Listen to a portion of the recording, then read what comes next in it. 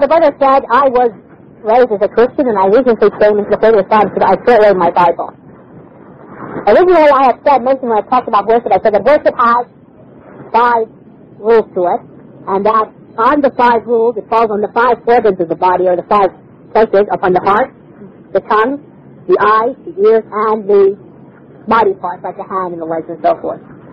So, if you look at what the scholar said concerning the eyes, they said among the things which were forbidden for the eyes to see, you know something, for instance, the, was forbidden for the eyes to see. Now the Quran says that you should lower your gaze, right? You know, it's forbidden to look at women, or for instance at men which are not halal, lawful for us to look at.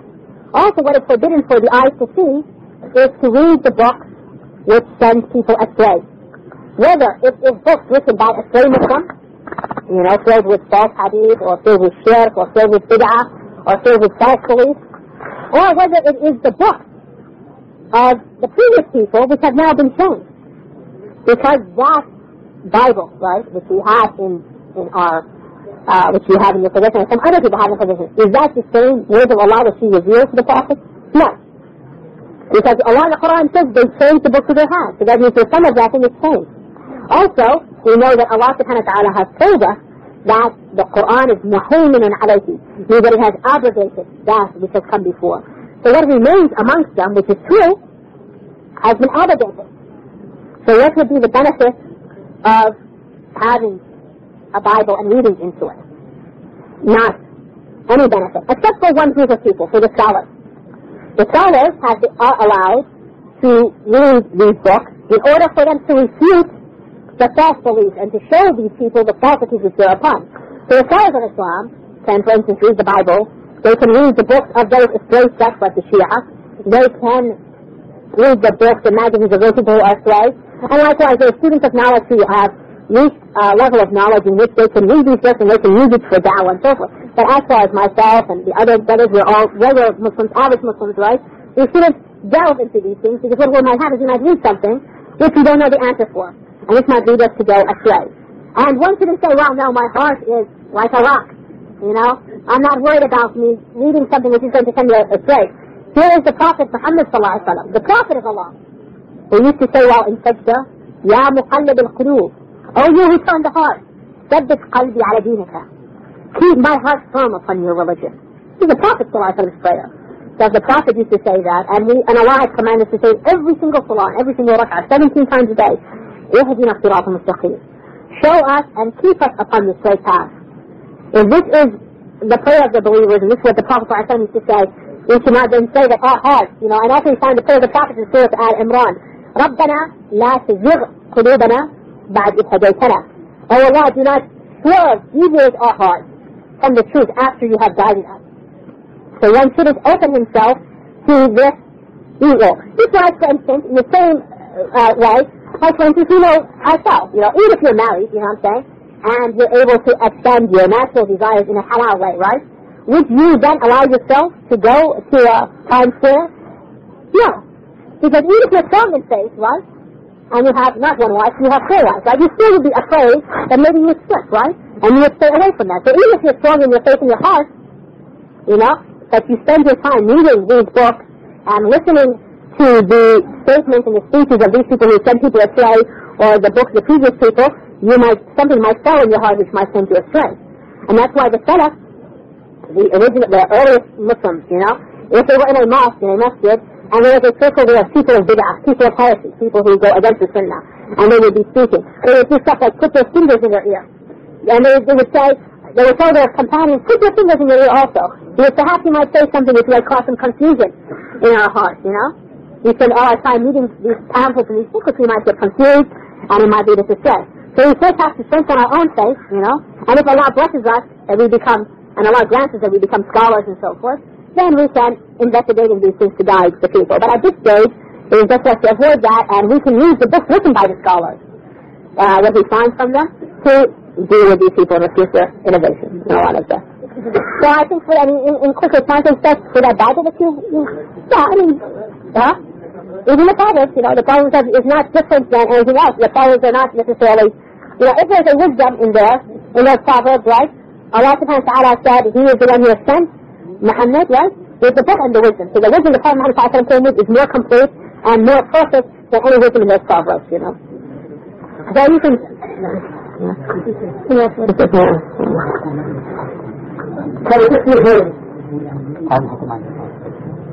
is it? So this is good. Uh, you can put it hit the microphone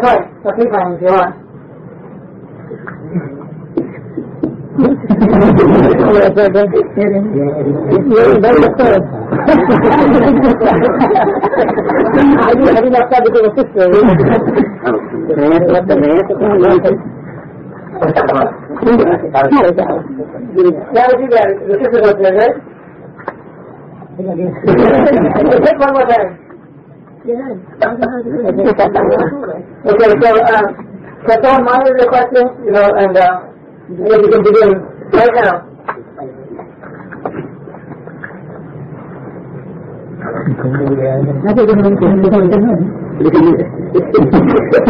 If you have any questions, tap one. If you don't have any questions, tap one. But let me see if I can ask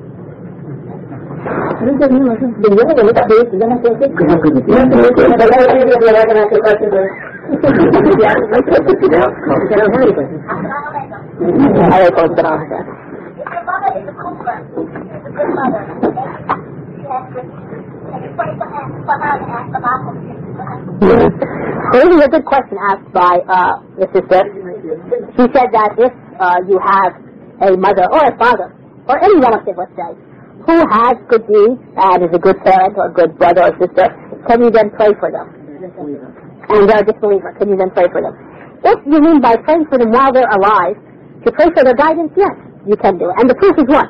The proof is that when Abu Hurairah, radiallahu anhu, became a Muslim, he asked the Prophet ﷺ to make dua that his mother becomes a Muslimah.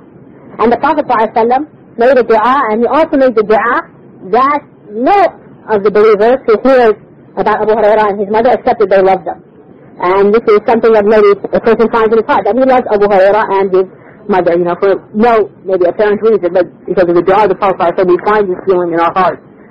So this is show that you can pray for your parents or for your relatives in the sense that you ask Allah to guide them while they're alive. But the question comes is that after they die. When Abu Talib, the Prophet ﷺ's uncle, and Abu Talib was better than any parent we might imagine we might have if our parents are disbelievers in sense of helping and assisting. Because Abu Talib didn't just help and assisted the Prophet ﷺ in just in a in a worldly manner, in a mundane manner, but more importantly, Abu Talib more importantly, Abu Talib assisted the Prophet ﷺ in the sense that he protected him and allowed the Prophet ﷺ to spread the Islam, to give da'wah and so forth. So Abu Talib, Abu Talib's help of the Prophet ﷺ was greater than any parent might do for us.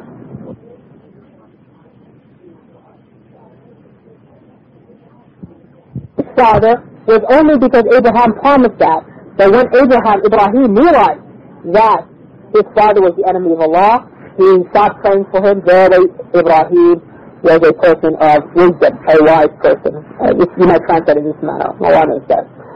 So the point is, is that Allah subhanahu wa ta'ala says this verse very clearly that it is not permitted for us to pray for our parents or our brothers or our sisters who die as disbelievers. And let me give you a, a proof from the Sunnah, since that's the proof from the Quran. From the Sunnah, we find the Prophet ﷺ one time came with his companions and he went to visit his mother's grave. And he was crying. And the companions, when the, they saw the Prophet crying, they started to cry with him. And the Prophet said, I asked Allah to give me permission to visit my mother's grave, and He allowed me. And I asked Allah to give me permission to seek for forgiveness for her, and He forbade me. And then He said, visit the dead, the grave, for it will remind you of the hereafter.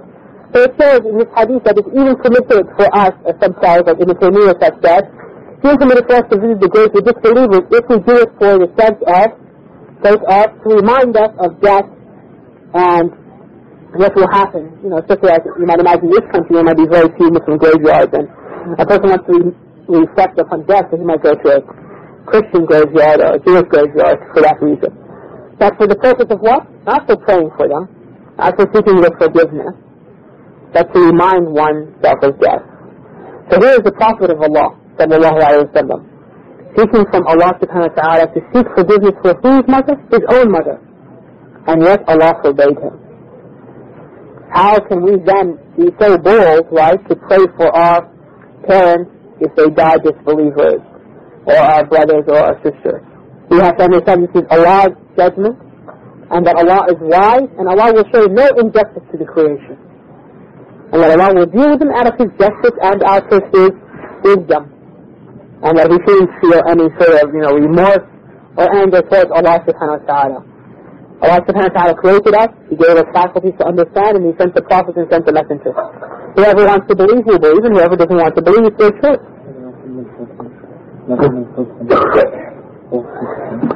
Yeah, also the point is we have to hate their disbelief, you know, as, as the brother says, and we must, you know, hate that they were upon, you know, although at the same time we have a natural love for them. That is permissible, you see. This is a natural love that Allah creates in the creation irrespective of their believers or disbelievers. You love your parents because Allah created this type of instilled this feeling into you, just like you love your children and you love your brothers and sisters. In this natural sense, this is different. But in the sense of a religious sense, you voluntarily choose to love them.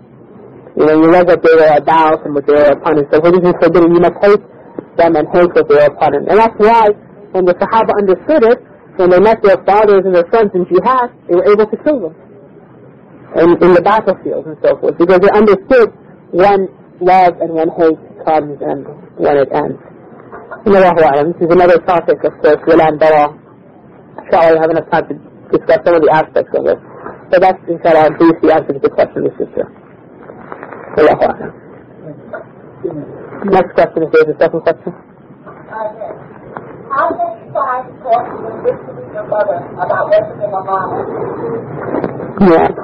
So the asks is how can we talk to our disbeliever mother, disbelieving mother about worshiping Allah alone? In general, the best way to give dawah to one's parents, if one wants to find a role model in that, is to read about how Ibrahim gave dawah to his father. Because here's an example from the Quran of a prophet giving dawah to his parent, his father, who's a disbeliever. And the point is over here that you notice how Ibrahim, when he used to talk to his father, he didn't talk to him in a very harsh manner and so forth. He would say, Inni akhaf, I fear for you. Ya abata, oh my father, calling him respectful. He didn't come to his father and say, you know, oh, stupid, you know, if you don't become a Muslim, you know. But sometimes Muslims do that, you know. I mean, you might find it sometimes funny, but sometimes that Muslims, because of their love and their desire to see their parents guided, or their brothers or their sisters or their children if they are older and their children are disbelievers, or their children are astray, or whatever the reason. Sometimes in their love and their enthusiasm, they speak, you know, harshly, not because they're so disrespectful, because they love to see them guided so much, and they're so uh, earnest to see that. So they don't approach them properly. This is in terms of that. The second thing is that it depends upon how the mother is, the second point if the mother is a Christian, and of course what kind of Christian she is, what are those specific things which center away from Tawheed? What are the specific things which she misses understand?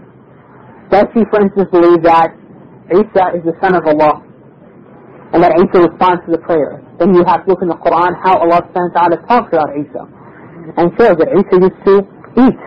If he used to eat, how could he be Allah subhanahu wa ta'ala? that, you know, why would Allah need a son? And so forth and so on. The arguments which Allah places forth in the Quran, the rational arguments to show that Isa is not the son of Allah. If the person, for instance, is a disbeliever in the sense that they don't care, you know, they don't care to worship Allah or not to worship Allah, like many disbelievers are in this country. They have no time for religion, they say. One would then have to say, how Allah describes the disbelievers to remember all the blessings Allah has given upon them and they should reflect upon that, and that they will be held responsible for that. So depending upon the nature of the person, the person's mentality, the person's outlook, one would find in the Quran or the Hadith the correct way to express uh, uh, da'wah to them. The third point is that sometimes you might imagine that it's difficult for a parent to accept the da'wah of somebody who's younger than them. So sometimes it's good to find somebody of that person's age, or that person uh, same background and so forth. They might find it a lot easier, you know. And with parents especially, if you have other siblings, you know, like a lot of times you'll find in families that they'll have many children, and the Muslim child is the one who cares the most about the parents. The Christian children could care, or the Jewish children could care less about the parents. They might have some sort of respect, but not as much as the Muslim child. The Muslim child is always, you know, helping them and doing this for them and that for them. So sometimes by these deeds itself, the fact that the parents can reflect what makes our son or our daughter different than the other of our children, and that how he changed, and this is his son, that might entice them to become Muslim. You know, and one, the last thing which one person should not forget is to make dua for them. Especially in the last third of the night and in those times when dua is accepted because as Abu Huraira, Abu Huraira, he was worried about his mother.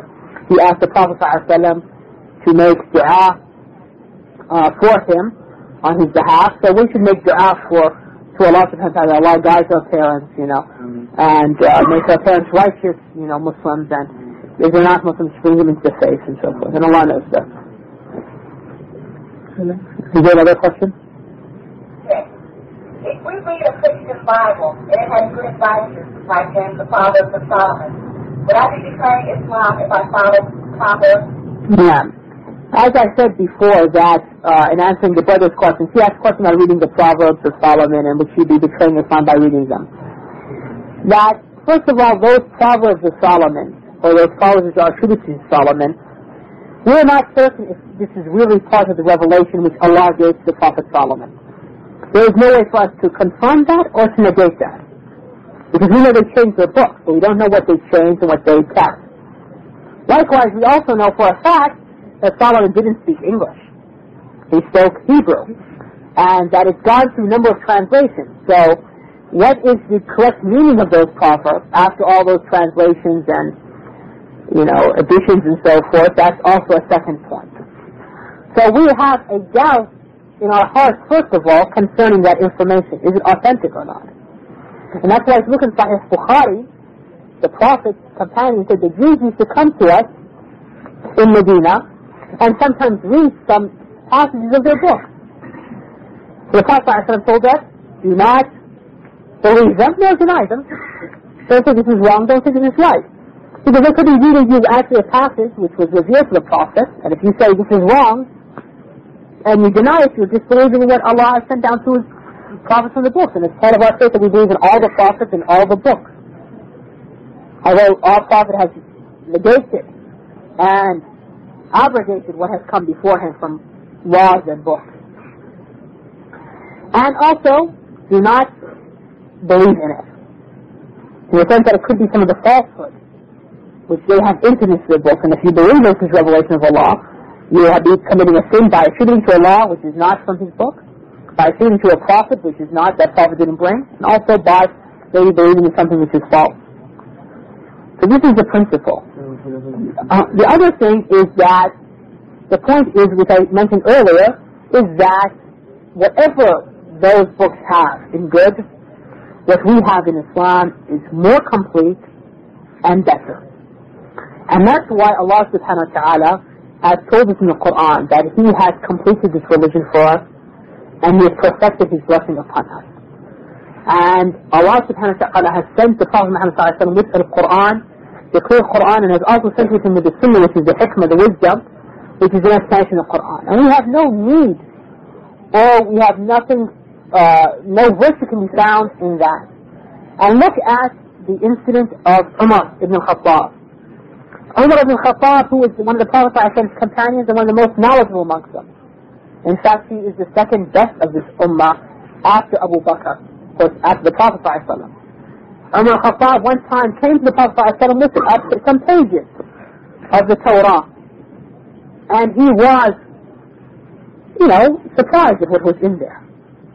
The Prophet became very angry and said to, uh, said to Umar, I have left you upon that which is white and pure. Meaning that if light that it's light, it's clear, there's no darkness in it. And that it's pure means nothing has entered into it, so it's become impure, it's not mixed. Verily, if Moses was alive today, if Moses himself, the one who has revealed these pages upon him, he would have no other recourse except to follow me. Means that that which is from before, even if it's still in the pure pristine form, its time is over. It has been abrogated. Whatever truths are in there has been brought in the Quran and expressed better and is more complete. And that is finished. So we really have no need, therefore, to read the Proverbs of Solomon if these are truly his statements or something which Allah reveals to him. Yes or no, only Allah knows, and therefore there is no benefit in that. Indeed, according to the correct opinion of the scholars, they would say that this is forbidden except for the scholar and the students of knowledge who would use this in, for dawah purposes or for refuting the Christians and Jews and other uh, aims. And Allah knows best. Is there another question? Okay. If your mother and sisters are going through a rough time, should be a place with good Muslims and a good Lord, even if they are kuffar? Yeah. So the sister is saying that if our parents and sisters are going through a rough time, should our place as a good Muslimah be near them, even if they are kuffar, they're disbelievers? Allah subhanahu wa ta'ala in the Quran said that in Surah Al-Luqman, He gave us the principle, which is the guiding rule concerning this situation, all situations like this. That He said that if your parents command you in disbelief, do not obey them, but befriend them in this world in a good manner. And this is the answer to this question and any other question simple like this. That when they command us in disbelief, when they command us in something which is sinful, we don't obey them in this, we don't listen to them. It's no longer right and correct for us to follow them. But in this world, we do good to them, we act well to them. Now, we shouldn't understand this to mean that we stand by their side to the point that we become neglectful of what's responsible upon them. You see what I'm saying? For instance, we stand by their side and we become neglectful of our duties of our husbands upon us, or our children upon us, you see. So we become neglectful of Allah's commandments, which we as you know, Muslim sisters must fulfill, you know, because we want to uh, be nice to our parents and so forth. So no, we have to find some sort of balance. Obeying our, our Lord, Allah subhanahu wa ta'ala, obeying His Prophet Muhammad sallallahu alayhi wa sallam, obeying our husbands, and at the same time, if our parents are having a hard time, or if our sisters or brothers are having a hard time, and even if they're disbelievers, we try to assist them in our means without falling short in what is obedience to Allah or obedience to His Prophet Muhammad or to our husbands, which in their obedience is obedience to Allah and His Messenger. Is there another question? If you are in a public place, a should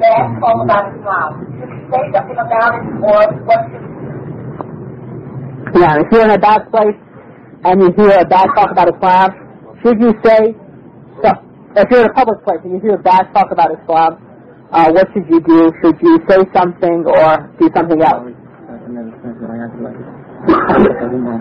Allah the Quran said that it has been revealed to you that when they hear the verses of Allah, they make fun of it. So do not sit with them. And if you sit with them, you are then from them, or part of them. So this verse shows the principle that the kuffar in general, they make fun of Islam. And this is their, one of their natures, their characteristics. And us Muslims, we should not sit with them when they make fun of Islam.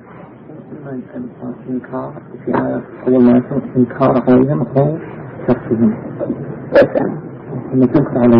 لما تنكر عليهم يكون عدم الرضا أو الترك فكرة تحسن So the point is, is that when the uh, Allah subhanahu wa ta'ala revealed this verse, He said, "Do not sit with them." Now, the point comes is that in so this is the first obligation, and we must not participate with them when they say something which is uh, evil or they make fun of Islam. Now comes the question is, do we take this to the next step by trying to refute what they say? And here it comes a situation depending upon who is one talking with and who is the one who's going to speak to them. If one is talking to people who are going to listen You know, and one feels by saying something, they're going to correct what they uh, uh, uh, their misunderstanding, misconception, and they will feel repentful, or this might induce them to become Muslims, or there's some sort of benefit will come out of that.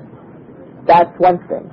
And if one has the ability to do that, but if one has not the ability to refute what they're saying, and since the person doesn't have much knowledge, or the person is, is weak and is afraid of them, that there are many, and a person's weak like the sister, and she's, they're men or whatever, and one feels that he might be, some harm might come to them.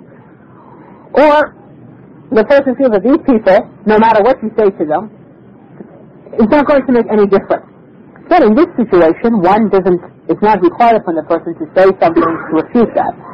For instance, if one was walking down the street and he was wearing Islamic dress or a sister was wearing hijab, and around the street corner there were a bunch of people, you know, with a, with bottles of liquor and they were drunk and they made some sort of joke about what that person was wearing or so forth. In this case, would it make sense to try to talk to these people? Probably not. Because in a case of intoxication, they wouldn't understand what you're saying. And also, in that state, they might become rowdy and more harm might come. In the sense that one might find that uh, they might get violent and so forth. Now, if somebody was in a situation like, let's say he was in the subway or in school or at work, and he heard some people saying something about Islam bad or about the Muslims bad, and these people know him, or they seem like there are people who are willing to listen and so forth, and you corrected their misconception, and you put things in their proper place. And some benefit came out of that. Like they might say, well, I didn't know that. Or I had a misunderstanding. Or they might then start coming saying, oh, is that true? They might start asking you more about Islam because they're interested. Then in this case, it's best to, uh, you know, uh, talk to them. So this, this determines, it's determined by situation to situation, person to person, who the group are, and so forth. But in general, the rule is that one should not participate with these uh, matters when, when they say something in front of Islam or disparaging about Islam. Allahu. Is there another question? Uh, yes. Um, question. Same true if you're in class, with, for example, a philosophy uh, class or something like that? Yeah.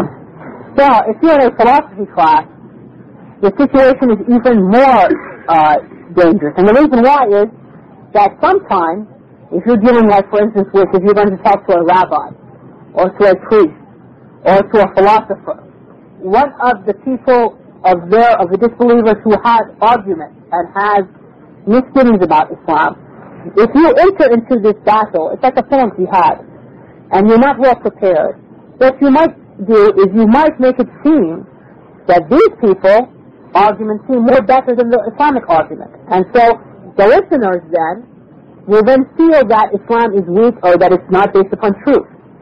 And that is why when the Prophet ﷺ sent Mu'az to Yemen, he said, you are coming across a people of the book. In other words, he was preparing Mu'az that the people you're talking to are not like these pagans and these mystics of Mecca and area and Arabia, but in Yemen, they are people of the book. They have arguments and they have scholars and so forth to prepare them for that.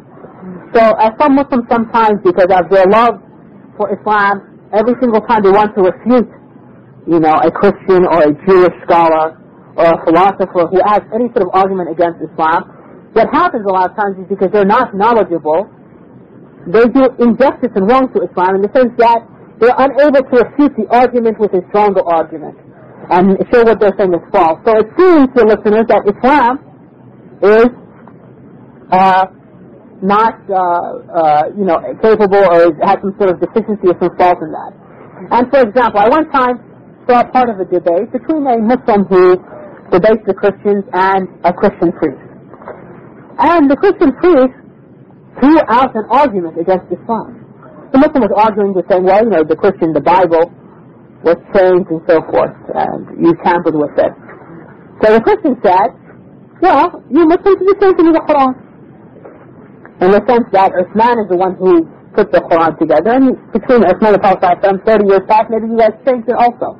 So don't accuse us of something which you are also guilty of. The Muslim was silent. He didn't know how to respond against this argument. And he starts to go around in circles and to change the and so forth.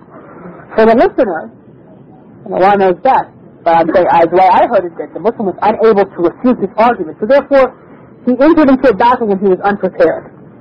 Because he just didn't know how to defend Islam against all the arguments of the Christians. So therefore, you shouldn't do. In this case, if there was a philosopher and you don't have knowledge to refute philosophy and so forth, you should say that a general answer refutation is wrong. I know that Allah subhanahu wa ta'ala sent the Prophet Muhammad sallallahu alayhi wa sallam with truth. And it negates all this falsehood that you're upon a philosophy. You know, but as far as the specific argument that you have or detail, I don't have knowledge of this. But there are scholars in Islam who can refute this. And you close the subject like that. And Allah knows best. There's another question we can take. Speak about Islam if you're asked and how to go about it. And if we're invited to a church to talk about subjects such as women's rights in Islam, so Yeah. You should, uh, the Prophet ﷺ said, the question was if we are invited to a church to speak about women's rights in Islam, should we go? And if you're asked to speak about Islam, should you, how should you go about it?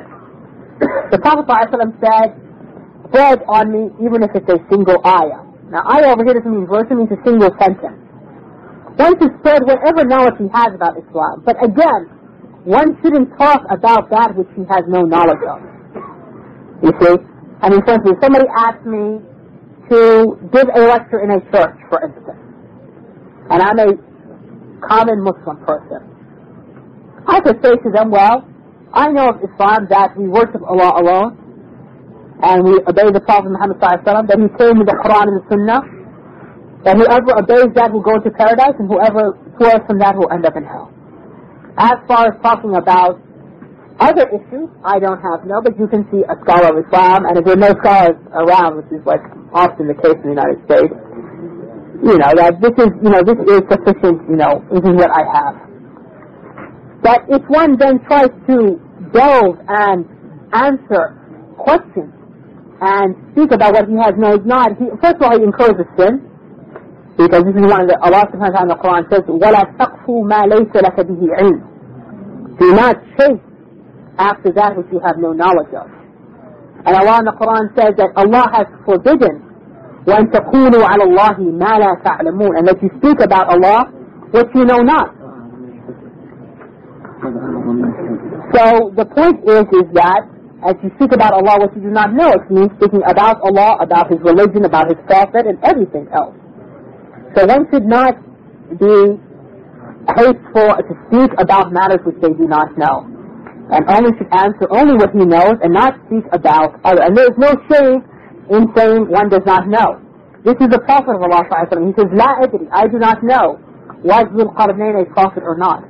So the Prophet found no shame in saying, I do not know if Dhul Qarnayn was a prophet or not.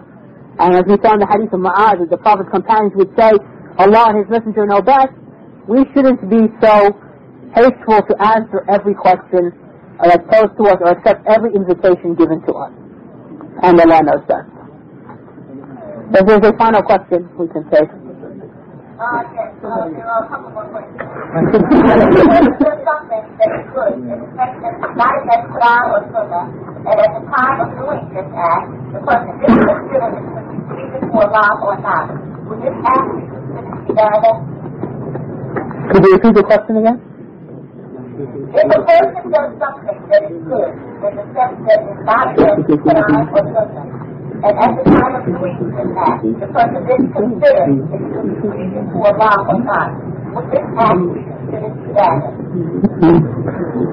Well, the question in itself, uh, the question was, if somebody does something good, and at the time of doing this good, didn't consider whether this action was pleasing to Allah or not, would this be considered ibadah, yes or no? The question in itself is contradictory, in the sense that if it's a good deed, in the first place, then it must be an ibadah. Because there cannot be something which is good, act which is not ibadah. Maybe the questioner wants to say the person wasn't sure whether the deed was good and an ibadah or not when they did it, but they thought it was good, and therefore they did it. Perhaps that's how the question should be worded. If that is the case, the question is that whether this deed was good or not and whether Allah will be pleased with it, one should know that there are general acts of worship. When Allah subhanahu wa ta'ala says in the Quran, for instance, وَقَضَ رَبُّكَ أَن لَا تَعْبُدُ إِلَّا إِيَّاهُ وَبِالْوَالِدَيْنِ إِحْسَانًا Allah in this verse says, and your Lord has decreed that you should worship none but Him, meaning Allah alone, Tawheed, no shirk, and that you do good to your parents.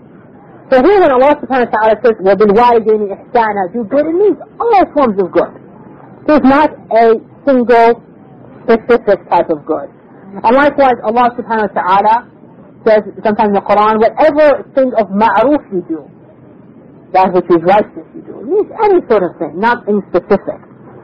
So in these general cases, or whatever type of charity you give, meaning whatever you give, nothing specific. In this case, if it's one of these general acts of worship which has no specifics to it, then if the Sharia has laid down a principle for it, like it's a form of charity, it's a type of good word, it's a type of assistance or something, then this is usually permitted and it's an act of worship. Now, if it's from one of those specific worship, acts of worship, specific ibadat, where the Prophet has legislated to us, whether it's come by way of the Quran or the way of hadith, that it's done in a specific manner, like prayer, like fasting, like zakah, like da'wah, like jihad, and so forth and so on, then these matters need to be done according to Prophet ﷺ sunnah. And it's not sufficient just for somebody to say, well, I think it's good and therefore I want to do it. In fact, if we look how the Salaf were, the Salaf said something to say, for the last 25 years, the last 50 years, I have not said a single word, or done a single deed, or taken a single step, or held back, except I thought to myself, does Allah is pleased with this, or is Allah angered by this? This type of feeling, when one gets it, he reaches the highest level of religion, which is ihsan. Because as we know in the hadith of Jibreel, when Jibreel came and explained to the Prophet in the hadith, he said, what is the religion? He gave it two levels, Islam, Iman, and Ihsan. And Ihsan, the highest level, as the Prophet said, it is to worship Allah as if you see Him. For even though you do not see Him, He sees you. When somebody really, I mean, believes that and becomes his life, then he will become like those people from the Salaf, the early generation of Muslims, who neither would say a word, nor look at something, nor take something, or take a step forward, or hold back, restrain themselves without thinking first whether Allah loves this or Allah hates this. And Allah subhanahu wa ta'ala knows best. Conclude our session tonight. سبحانك اللهم وبحمدك أشهد أن لا إله إلا أنت أستغفرك وأتوب إليك. And the brother might have an announcement. الحمد لله نحمده ونستعينه ونستغفره ونتوب إليه ونعوذ بالله من شرور أنفسنا ومن سيئات أعمالنا. من يهده الله فلا مضل له ومن يضلل فلا هادي له وأشهد أن لا إله إلا الله وحده لا شريك له وأشهد أن محمدا عبده ورسوله صلى الله عليه وعلى آله وصحبه وسلم.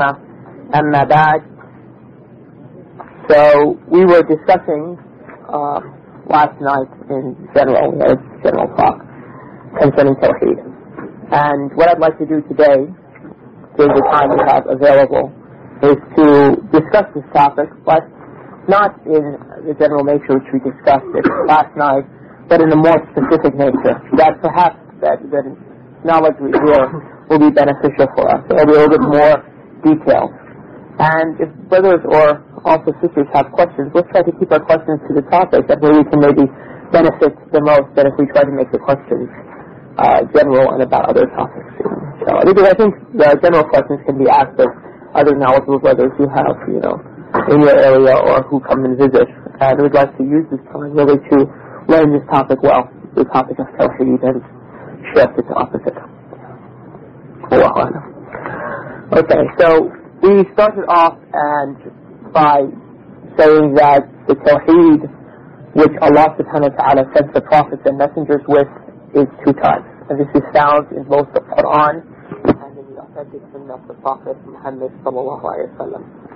The first type is called Tawheed wal Isbat, which means Tawheed in one's belief.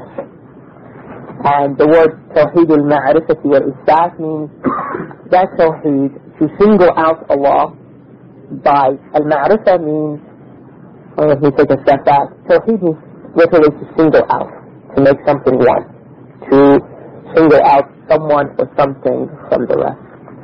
So Tawheed al-Ma'rifati wal-Isbat means to single out Allah in al-Ma'rifa means in your, in, by recognizing certain things for Him, certain uh, beliefs. And it that means to confirm and affirm those beliefs only for him. What are those beliefs? Well, it's basically five or six things. The first thing is to to single out Allah subhanahu wa ta'ala in the sense to believe that He is one in His essence.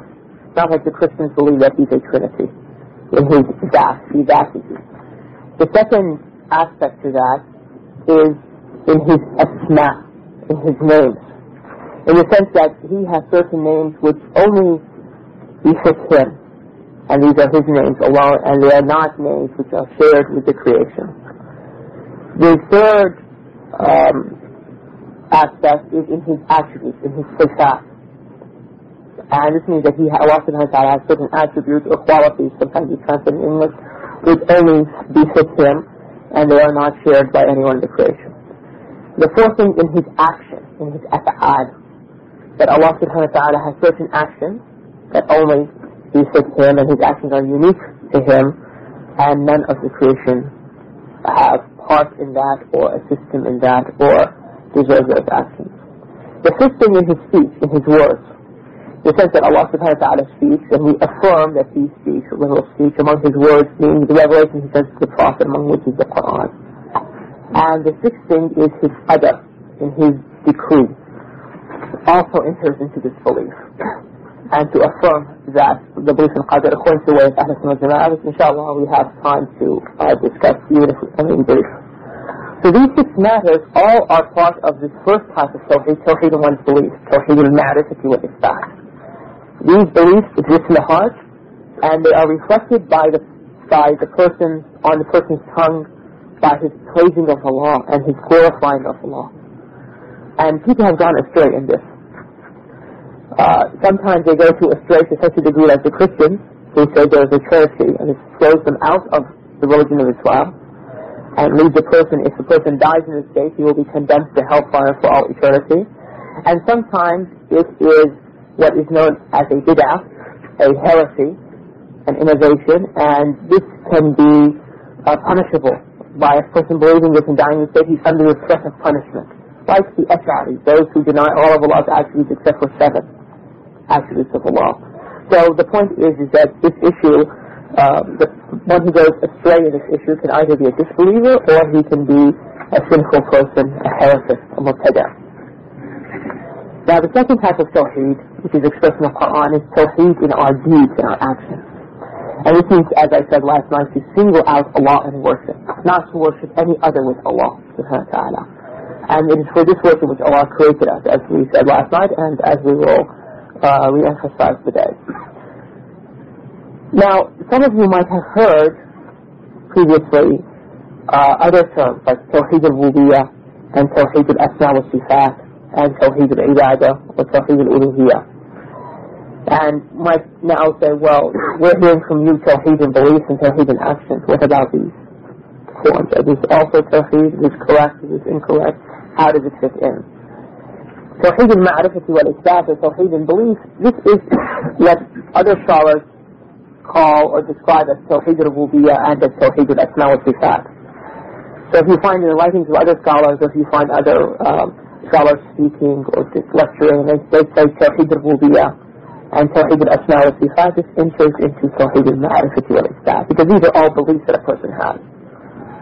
And as for what other scholars mention as Tawheed al-Ibadah or Tawheed al-Uluhiyyah, it enters into what is known as uh, Tawheed al-Fi'li or Tawheed al-Qasd, uh, al-Talab wal-Qasd, which is the Tawheed in actions that I was talking about. So we should, you know, keep that in mind.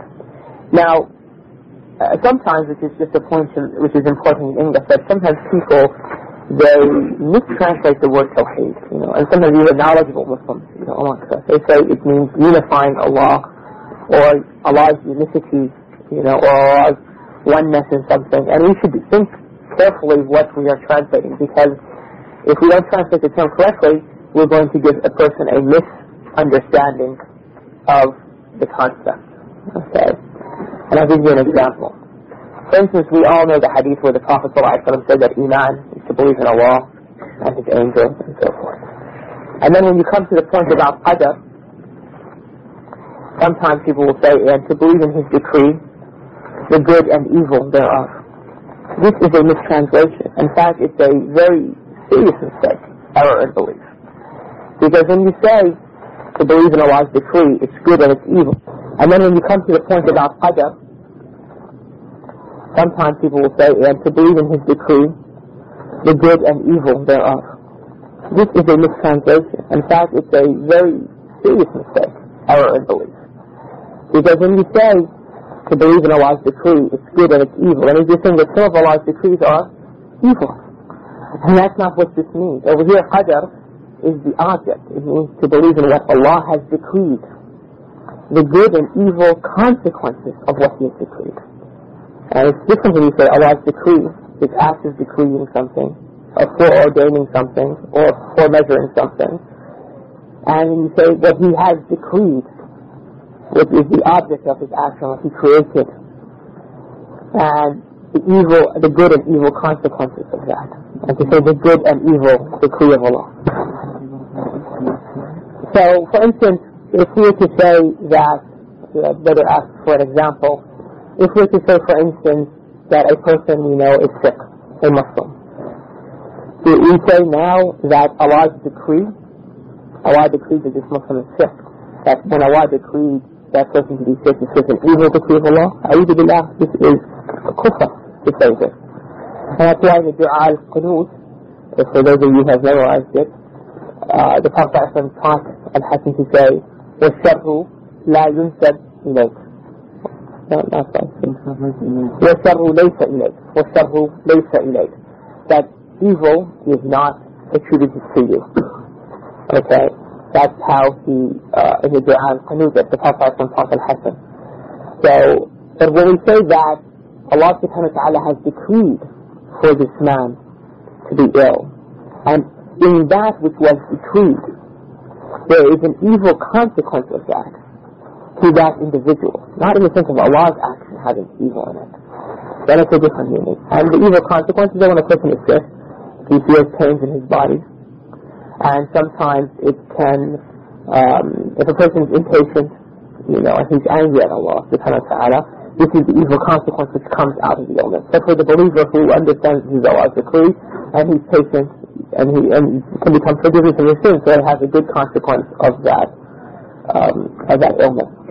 So the point that what I'm trying to stress is not about qadr, but the point that I'm trying to mention is that the importance of translating this word tawheed in a correct manner.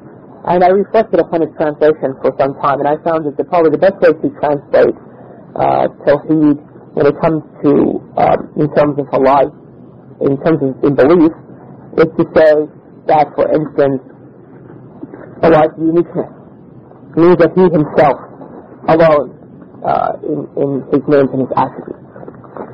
And when it comes to action, tawheed of action, it means to single out Allah in, the, in our intent when we perform these actions as far as what people say unifying Allah and uh, unicity of Allah and stuff like this, this doesn't really give the correct meaning. Another example uh, is in the Shahada when people translate. And I know this sort of straying off our topic, but when people sometimes say that La ilaha illallah means that there is no God but God. This in itself, especially if they translate, uh, if they write the first word God with a capital G, this in itself is a contradiction, you know, and the scholars before used to refute against some philosophers and so forth who misunderstood the Shahada in this sense.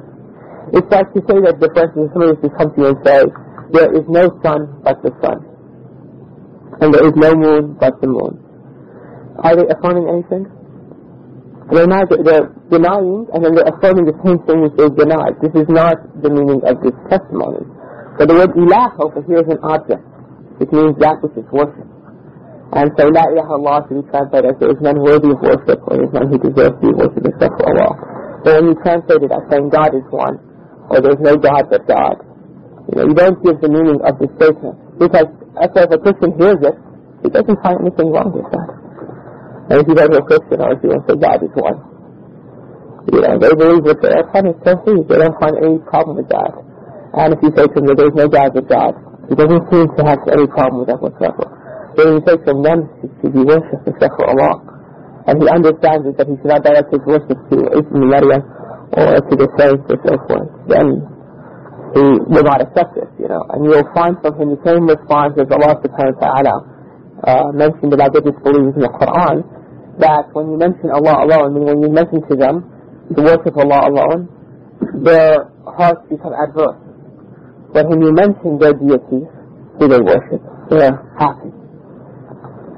I was just a small um, introduction to our topic, but going back to the topic of Tawheed, we said that Tawheed of the Prophet is two parts. And when we were discussing, we said because the time is the second aspect of Tawheed, which is Tawheed of Ibadah, or Tawheed in our deeds, which means to single out Allah alone in worship. And we said that it's important to know many uh, points concerning this. The first point was that Allah subhanahu wa ta'ala created us for this Tawheed. And the evidence was, as I mentioned, uh, Allah's statement, وَمَا خَلَقْتُ الْجِنَّ وَالْإِنسَ إِلَّا لِيَعْبُدُونَ I have not created jinn nor man except to worship me.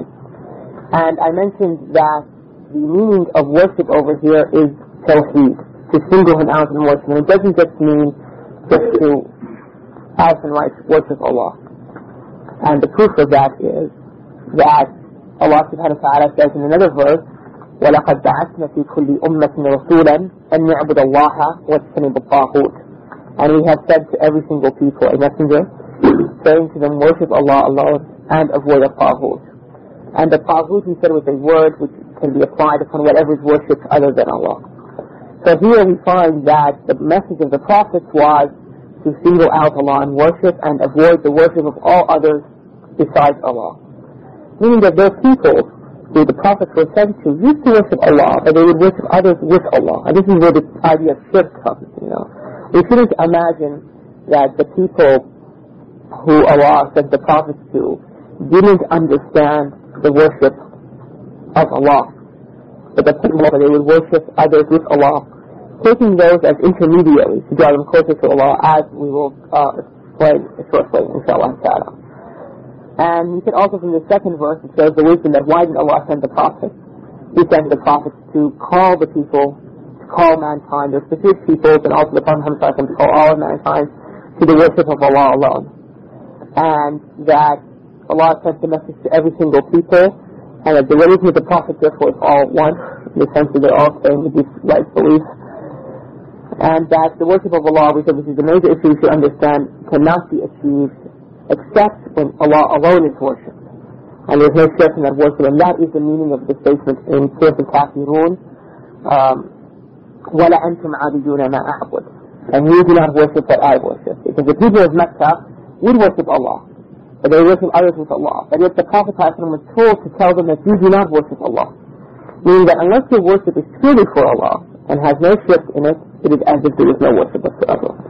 And the scholars they give an example of this. They say just like a man who does, or a woman who does salah without wudu, without tahara, it is as if they did not do salah, because it's not accepted. So the same sense worship, if it's performed with shirk in it, it is not whatsoever accepted by Allah subhanahu wa ta'ala. Okay. Now, and then we mentioned the uh, hadith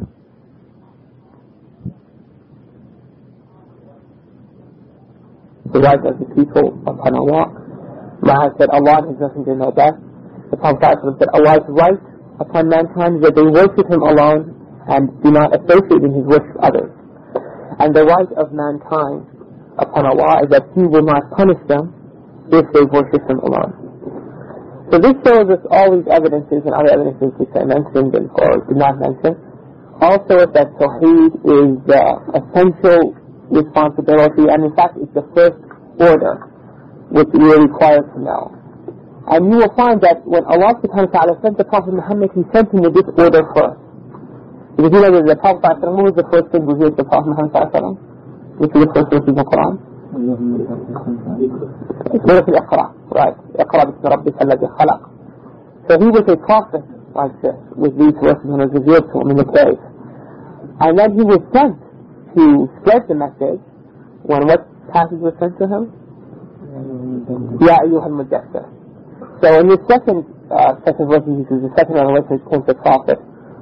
Allah subhanahu wa says, Ya ayyuhal mudassir, qum fa'andir. This is when he became a messenger and was sent to um, to preach to mankind. The first verse in Surah Al-Iqra, he was a prophet. And with these verses, he became a messenger was sent to preach.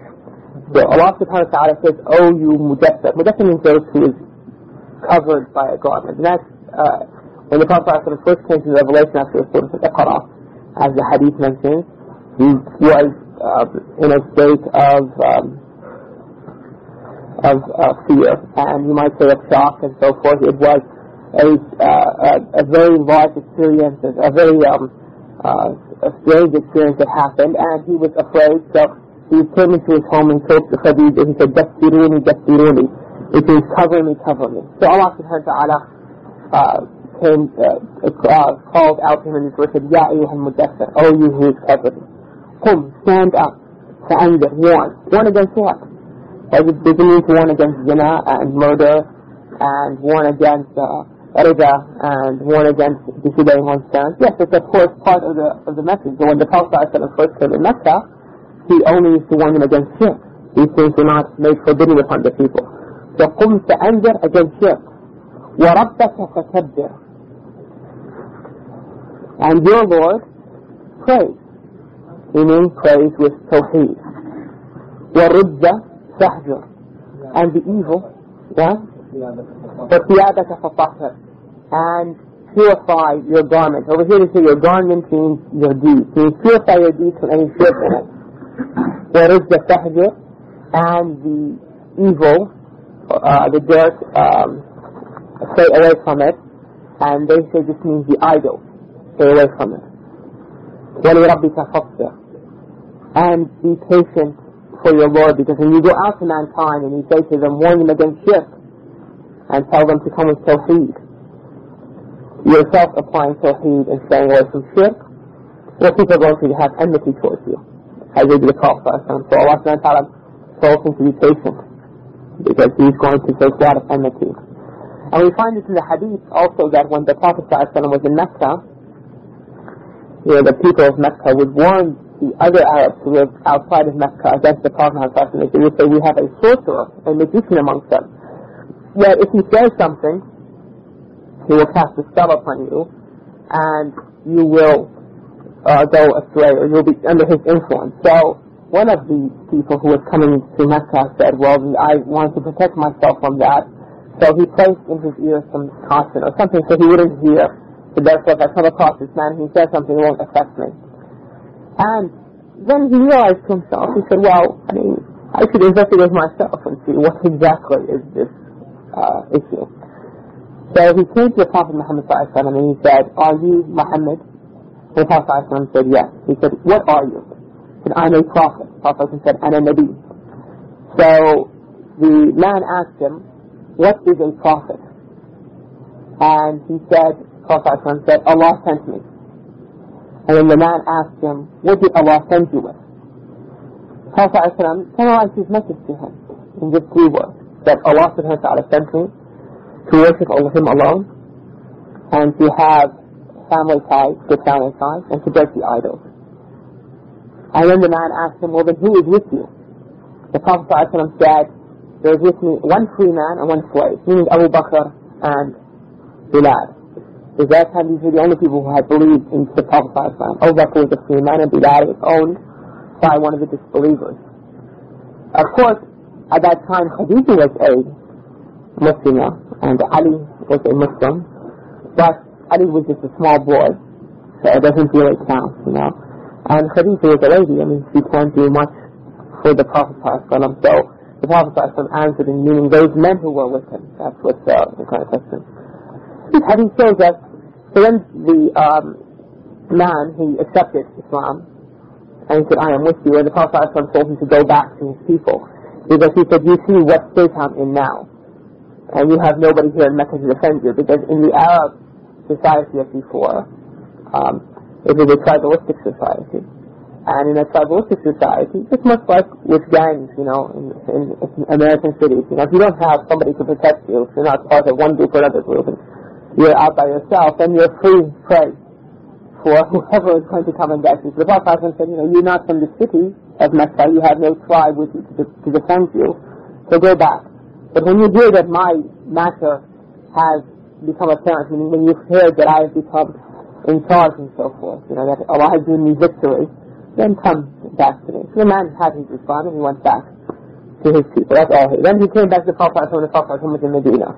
And he said, do you remember me? And the Prophet said yes. And then he asked the Prophet to teach him certain things. The Prophet taught him some things. Uh, one of the things the Prophet taught him was not to make salah when the sun is rising or when the sun is in its um, Janus in midpoint only of the second, because is when the time when the disbelievers are prostrate to Satan. The point is, is that in this hadith there's many benefits, but one of the benefits is that here you find the Prophet Prophet's blessing. And here the man is asking the Prophet you know, what did Allah send to us? And the Prophet said, to worship Allah alone, and to have good family time, and to break the idol. So it shows that even though that the message the Prophet mentioned, the first thing is Tawheed, to worship Allah alone. And to break the idols is against shirk, which is also Tawheed. And he mentioned in between, what? Be kind to one's family. This is something is very important to the Arabs because it's a tribalistic society and family ties and so forth is something important. They used to consider that as a very important quality. So the Prophet said this to show the man some of the qualities of Islam. Not that this is the only thing in Islam. There are other qualities in Islam. So also when we give dawah, we can learn a point from these du'as. That when we give dawah to the people, it's not harmful that we mention to them things which will entice them some good qualities of Islam. But the point is, what is the message of Islam? The Tawheed, the worship of Allah alone. And sometimes people mix the two together. For instance, if we came across some elderly person we saw, and we have a neighbor who's an elderly person, we know that this person, his children have forsaken him and they don't care for him whatsoever.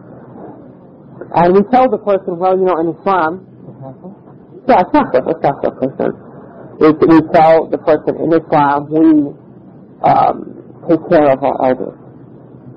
And we are righteous to our parents. And we respect the old people. We don't just throw them out when their usefulness we think is true, and so forth. And you mention these things to endear Islam to him, but the message you're calling him to is what? To Tawheed. You see, that's okay. And likewise, if you see, for instance, in the United States, they have racism amongst the people. So you mention to the people that in Islam, there's no difference. That Allah subhanahu wa ta'ala has informed us, and the Prophet Muhammad has informed us, that we're all from Adam. So those people you hate, because of some racist you know, notions you have, in reality you're related to them, whether you like it or not, because we're all from Adam. So you mentioned some of these things that Islam, therefore, has the quality which Islam, the standard, is not a person's skin color or his economic status or his wealth or so forth, but his piety, his knowledge and his fear of Allah subhanahu wa ta'ala, acting upon Allah's commandments. But that's one thing, and you're calling the person to Tawheed, to worship Allah alone. And another thing is that you may this the message of Islam and you forget Tawheed. So you say, come to Islam, because we take care of the old, we take care of the poor, or you will find some sort of uh, tranquility in Islam. But believe whatever you want to believe. We're not concerned if you have Tawheed, or if you have Shirk, or if you have this or that. Family. So racism is outside of Tawheed. Racism is outside of Tawheed. Racism is outside of Tawheed, of course. But, at the same time, as inshallah, I don't know if we'll have enough time to come to a hadith, the Prophet said to, um, in a hadith, he says, there are four matters of jahiliyyah which will remain in my ummah.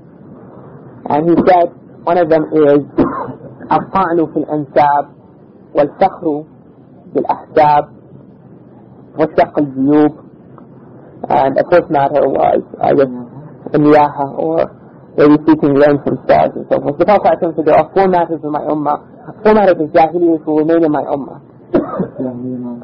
jahiliyyah meaning that whatever the Prophet whatever came before the Prophet you know, whatever goes against whatever the Prophet came with. The Prophet came to eradicate all types of jahiliyyah. But he said that there were four types of jahiliyyah which would stay in his ummah. He would not be present eradicated. And what are those four types? He said that some people, when a death occurs, they start to wail and they rip their clothes and they scratch their cheeks. And sometimes, I don't know if you see on television, sometimes with Muslims, when they have some sort of catastrophe, you know, like when there's a bombing or so, and you find them, they're hitting themselves, the women, and they're hitting their cheeks, and they're hitting their clothes, and they're pulling their hair. This is one of the forms of jahiliyyah the Prophet forbade, but still remains in Ummah. The second thing is that he said they would speak rain to the stars. This is a practice in the Bedouins. They say, oh, it rains because of such and such star. So they feel that if a certain star appears in the sky, it means that rain is going to come. And this is not true because the stars are part of Allah's creation, and Allah is going to decree when rain comes and when not. The stars don't control what happens on the earth. And the third matter he mentioned was people having um, praised their own lineage. I am from so-and-so family, or I'm from so-and-so tribe, or from so-and-so country, or from so-and-so race, or whatever forefathers they have and attacking, the fourth is attacking the lineage of somebody else. You know, you're not from this, and you're not from that, and you're not from that. Are four matters of Jahiliyyah. And we know in the hadith in Sahih Bukhari, in Kitab al-Iman, that the Prophet said, uh, that Imam Bukhari, he entitles this chapter, he says that sins are all from the affairs of Jahiliyyah.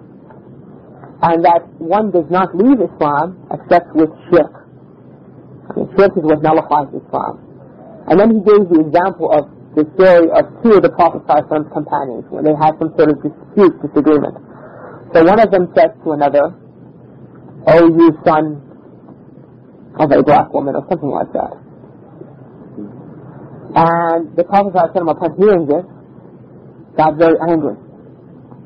He could hear a man who has jahiliyyah in him. And that Prophet's companion was surprised. He said, at my age, meaning that, you know, I mean, I'm an, an adult, mature adult, I would have thought now by now I would have given up all forms of jahiliyyah. So the Prophet ﷺ here said that when there was some sort of racism, you know what I'm saying? I mean, even though that the man, when he said it, obviously, wasn't like the racist we see someone should disbelieve. It wasn't a belief. But you might know that when sometimes people argue, right? They say something to hurt the other person. Even they may not believe it themselves, you know. And this is something which is prevalent.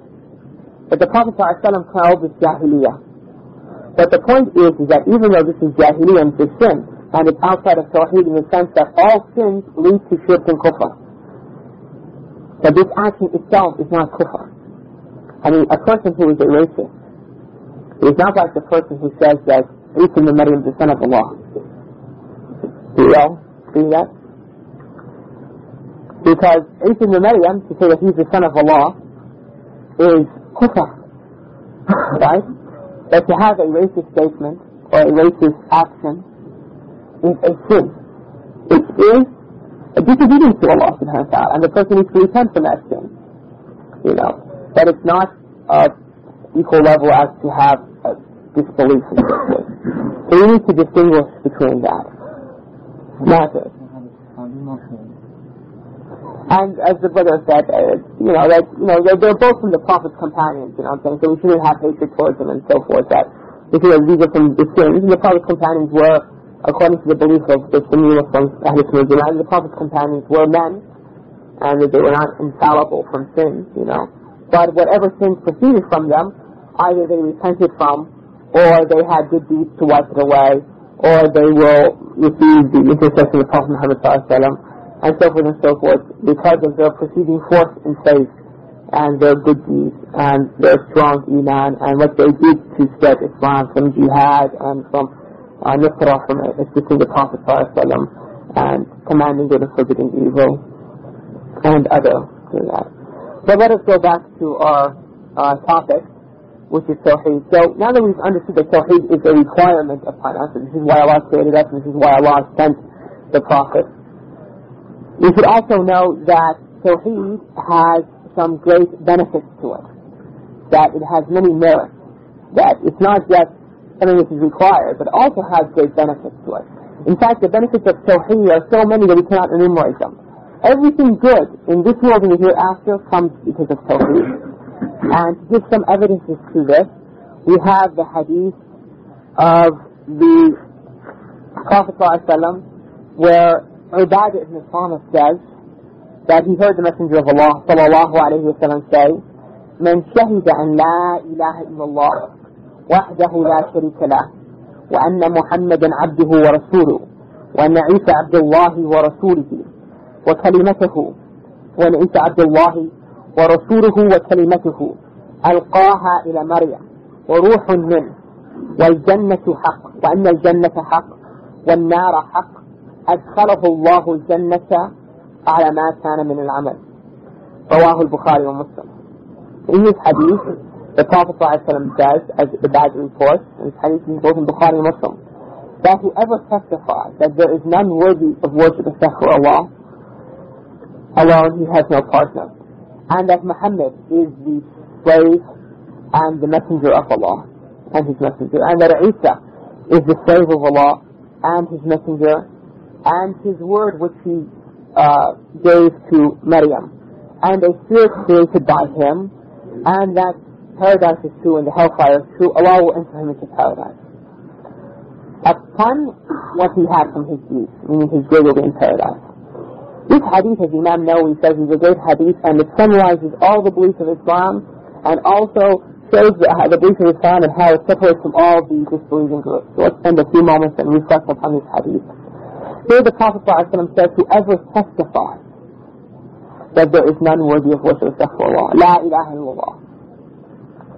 And we know that in order for it to be a testimony, you have to have knowledge of, of what you're saying.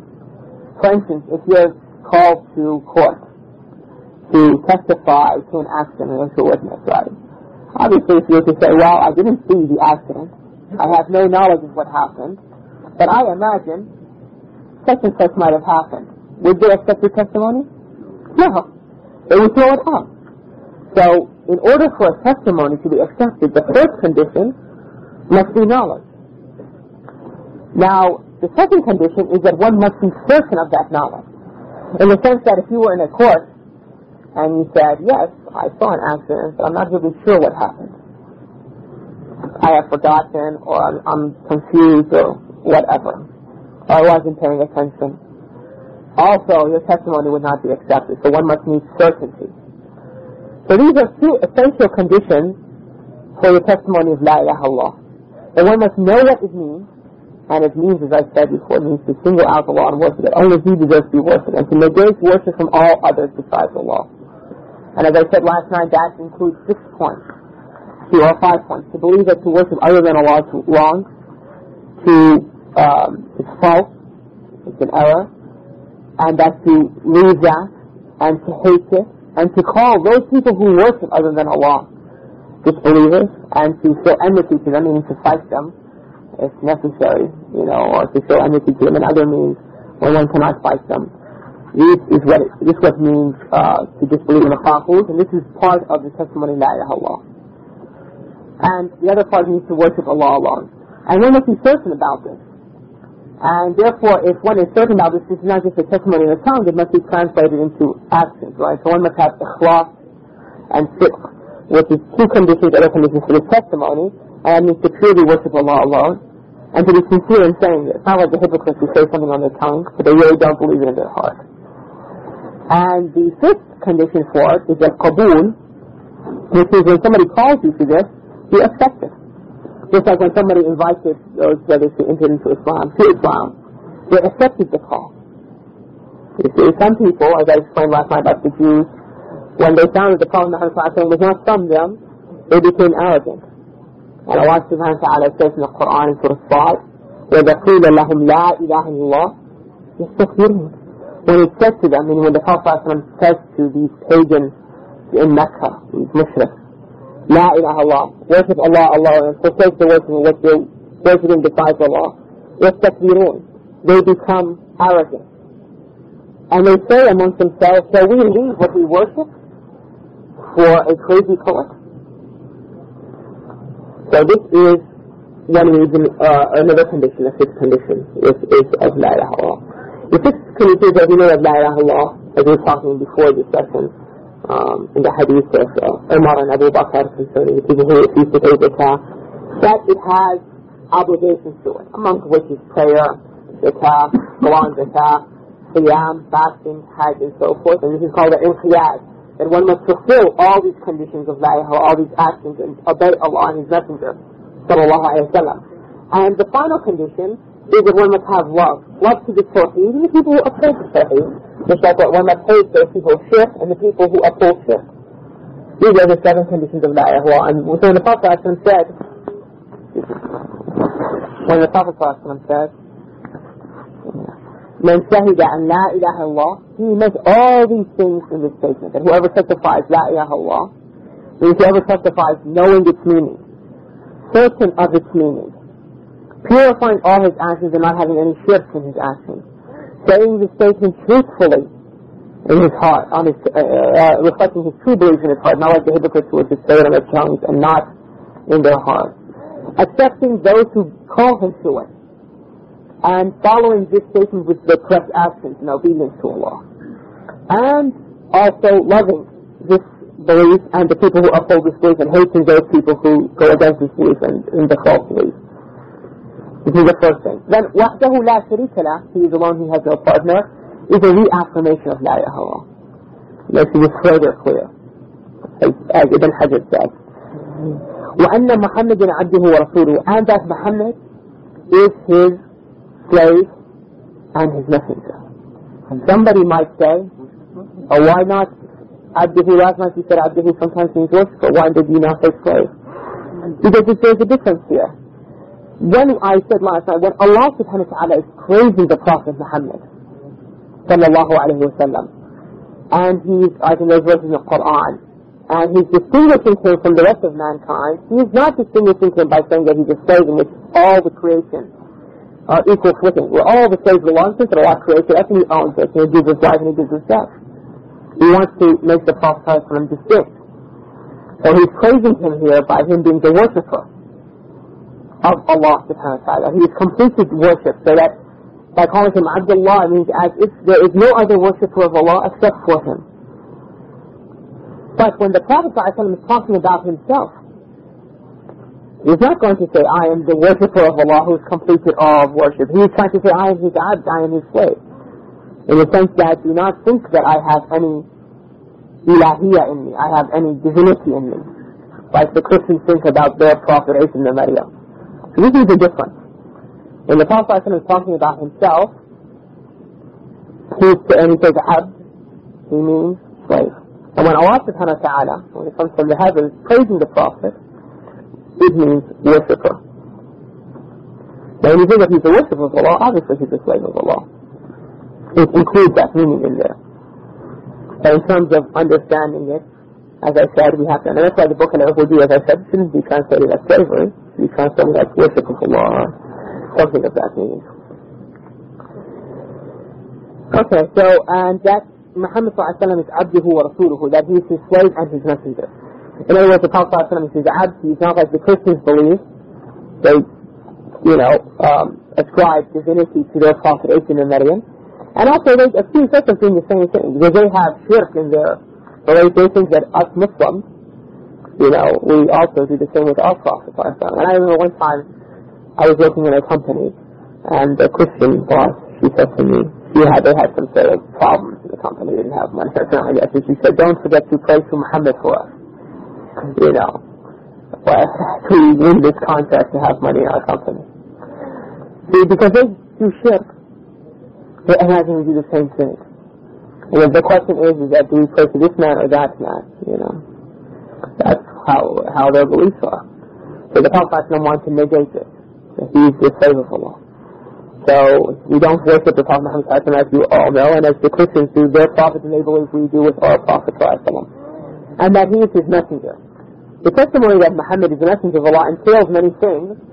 Perhaps you heard some of that last night, before I came, or yesterday afternoon. Among those matters is that whatever the Prophet informed us with, we should believe in Whether we comprehend its meaning or not. Whether we, when I say comprehend, whether we can actually understand um, the nature of what he said or not. And I'll only give you an example.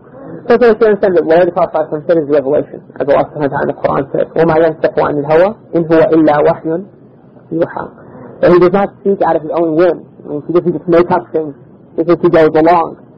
But whatever he says is a revel- revelation sent to him. So the Prophet instance, told us that on the day of judgment there is something called a sirat, a bridge, which is over hell fire. And that bridge is as thin as a uh, strand of hair. And yet at the same time it's as sharp as a sword, the edge of a sword. And the people will cross that. Some people will cross it very quickly like the blink of an eye. And some people will cross it not as quick, but they will go across it like somebody who's riding on a steed, on a fast horse. And some people will not go with it as quick or as they're riding on a camel. A camel is usually slower than a horse. And some people will go across it as if they're running in a race, you know, running very fast. And some people will walk. And some people will crawl. And some people that on the bridge, or next to the bridge, there are uh, thorns or claws, um, thorns, um, which will snatch the people. And some people will then fall off this bridge and fall into hell. This is a belief that the Prophet has told us in authentic hadith. He also told us another hadith that on the day of judgment, the Prophet said that he will have a pond, a pool, and that the length of this will be from Jerusalem to Aden, which is a city in Yemen. It is the length of like the Arabian Peninsula. And that around it there will be cups. And these cups, goblets, will be like the number of the stars in the heavens. And that this pool, he said in the hadith, that it is whiter than milk and more sweeter than honey. Its color is more white than milk. And yet its taste is more sweet than honey. And that whoever drinks from it will never thirst again. And that some people will come to drink from it, but when they come close, the angels will take them away and take them to the hellfire. The Prophet will call out saying, these are from my ummah, my ummah. And then the Prophet then the angels will say, you do not know what they innovated, what they added after you. And they just stick with the religion that Allah sent the Prophet with, but they decided to add their own ideas to the religion of Islam, their own opinions, their own innovations. The Prophet says, "Suhqan, suhqan," take them far away from me. So when the Prophet describes us these things and many other matters like that, we may not be able to comprehend in our minds exactly what is the nature of these things. We believe in it literally. The Prophet said there's going to be a pool which we ask Allah subhanahu wa ta'ala to make us drink from which is whiter than milk and sweeter than honey. Whoever drinks from it will never thirst again. Can understand that. But the actual nature, reality of it, we cannot comprehend. Because there's nothing similar to this in this world which we can make an analogy from. And likewise, a bridge. Prophet said a bridge over hell. We understand what a bridge is, and we understand what hell is. It's a fire. And we understand that as thin as a strand of hair, we know what a strand of hair, how thin it is, and as sharp as the edge of a sword. You can imagine, you know, if we never touched the sword, what a sword, the sharpness of it might be. But exactly how the nature of it is, we cannot comprehend. So how going to walk? So we believe in this literally. We don't say this is a figurative speech, and say the prophet really meant something else. You know, no, we say this is literal. This is the first thing of believing that Muhammad is the messenger of Allah that you believe in what he said. Whether you comprehend the reality, whether you can actually, um, you know, realize the reality of what he says or not. And just like another thing we were talking about maybe last night, when the Prophet talked about a Dajjal. Every single messenger warns his people about a Dajjal, and he's going to warn us about a Dajjal. There is no fitna, no trial which Allah subhanahu wa ta'ala has sent upon mankind greater than a Dajjal. From the creation of Adam until the day of judgment. And a, a Dajjal will be a man will be blind in one eye. He will have the word kafir written upon his forehead, which everybody will be able to read, whether he can read or he's illiterate. And that he will claim that he's Allah. And that people will follow him and believe him that this is Allah. And he will have in one hand paradise and one hand hell. And that there will be 70,000 Jews following him, which will mean not only the 70,000 Jews follow him, but it means that they're like his uh, elite squad, his, you know, his main guys. There, there are 70,000. Huh? His what? no, no, not like that. But I mean, like, they're his, you know, it's like, you know, not his body, not like his bodyguards also, but you know, like, like, you know, if you see sometimes the, he's only, yeah, but I'm, I'm trying to think of his entourage, you know what I'm saying? Like, this is, this is, it's like you see one of these people in, in the dunya, you know what I'm saying? Like one of these uh, drug dealers, something like that, he's got his name you know, guys talk to Paul or to talk to, yeah, talk to his crew with him. And the same thing, this guy will have his crew with him. It's the same, you know, uh, sort of thing. And Apostle said that he will go to every single city on the earth. There's not going to be a city which he will not pass through, except for Mecca and Medina, because Allah will prevent, there will be angels which will prevent him from entering that. And that the people will follow him. And that of this ummah, the people who follow him the most will be the women and the Bedouins and that people will believe, you know, that even uh, that his fitna will be such a degree that he'll come to a Muslim and say to him, if I brought your parents, uh, your mother or your parents out of their grave, you know, would you believe that I'm Allah? And I would say yes. So then he will say, okay, come out of your grave, and they'll come out. What will happen is two jinns or a jinn will enter into the grave and come out in the form of his parents and he'll think this man raised the dead. And we will pass by areas of much vegetation, you know, like areas like, like, you know, like jungles or areas that have like a lot of trees and stuff like that, and they become desert. And Allah will make that to become a desert. And then he will come by areas which are like deserts and say, come like a garden, and it will become like a garden. And that when he walks, the treasures of the earth will come out of the ground, like gold and silver and other treasures. And he will have in one hand paradise and one hand hell. And he'll come to people and say that if you don't believe me, I'll throw you in hell. And he'll throw people into some fire. People will think it's hell. And he'll also take people and put them in what they consider heaven. The Prophet said that his paradise is really hell. That whoever enters into that will actually go into hell. And whoever enters into his hell will enter into paradise. And the Prophet said that if you hear of him, go away. Run away from him.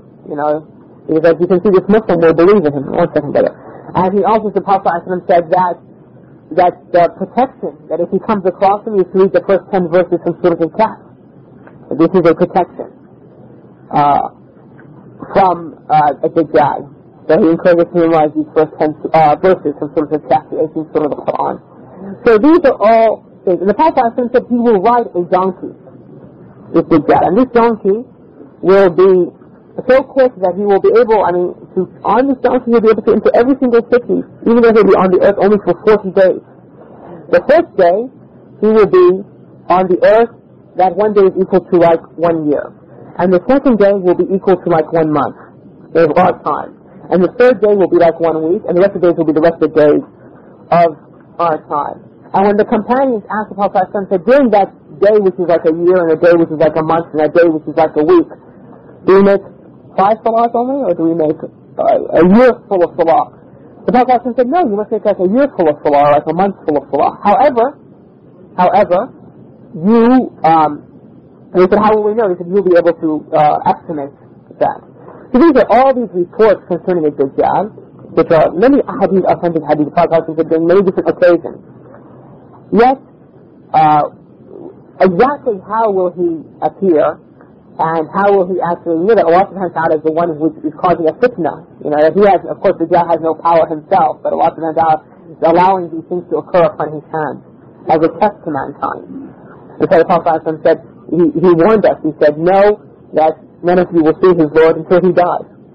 So that if you come across the Dajjal, and he also said the Prophet said that the Dajjal is blind in one eye, and that Allah subhanahu wa ta'ala has two eyes, he's not blind in one eye. So these evidences and so forth, but exactly how Dajjal is and the reality of it, we don't know. But if we believe in it, that the Prophet said so, and it will occur literally as the Prophet said, without trying to explain it off, by saying that he's blind in one eye means this is civilization which doesn't have an understanding of what is spirituality or something like that. You know, this is meaning blinding one eye. And that, uh, or fellows, you know, you know, they have have many different explanations and so forth and so forth. The point is, is that no, we see the Prophet Muhammad Sallallahu is the Prophet of Allah, whatever he says is true, and he explains what these things, and we believe it liberally as he said it. How this will occur? Well, if Allah subhanahu wa ta'ala decrees that we live until that time and we see it come to pass, it will, it will occur in that nature. And if we die before that, we ask Allah subhanahu wa ta'ala to protect us from this fitna and other fitna. Alhamdulillah, I mean, that's, it is as the Prophet said, and uh, Uh, so the point is when we talk about Muhammad's messenger of Allah, that's the first issue. The second issue is that we obey him in what he's commanded. You know, many Muslims feel that what the Prophet ﷺ, they get confused with the term sunnah. The term sunnah has different meanings. Literally it means road or path. But also sometimes it's used by scholars of fiqh to mean that which is a recommended action. Like we say, did you do your sunnah better? Meaning, did you do your extra prayers? But when we talk about the Prophet Sunnah in another sense, we mean everything that the Prophet came with.